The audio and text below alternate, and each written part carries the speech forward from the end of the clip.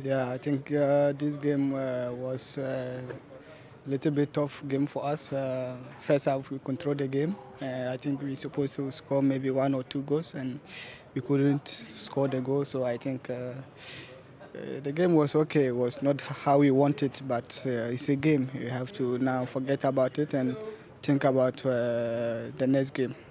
You were running and you were fighting, so the fans uh, were satisfied with that part.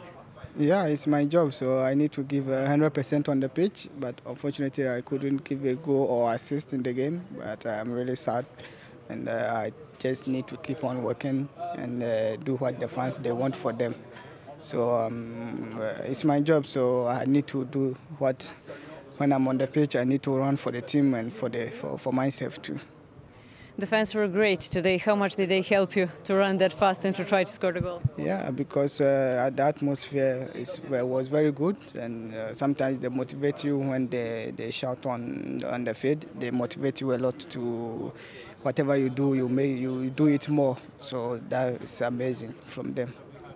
You looked really good on the field. Your crowd looked very good. So can we expect more from Europa League from Red Star? Yeah, this is the beginning. This is the first game, so we just need to work hard and we just need to take rest and uh, continue working on our mistakes and learn from it. Now we have uh, five games more on the Europa League, so we need to focus on the next game. Now this is end. We need to think about uh, our mistakes and learn from it. That's all. We wish you good luck. Thank you so much. Thank you very much. Imali ste priliku da čujete Osmana Bukarija, sada ćemo kratko prevesti ono što je on rekao, pre svega se naravno osvrnuo na utakmicu, na činjenicu da možda ona nije tekla onako kako je Crvena zvezda želela, ali da je zaista naš tim izgledao odlično na terenu, napravili su nekoliko grešaka i nažalost iz toga je i došao taj poraz. Sam je istakao koliko je e, bilo važno što je imao zaista mnogo snage da trči, da pomogne ekipi, ali na kraju krajeva, kako sam e, kaže, jako je važno da tim pobedi.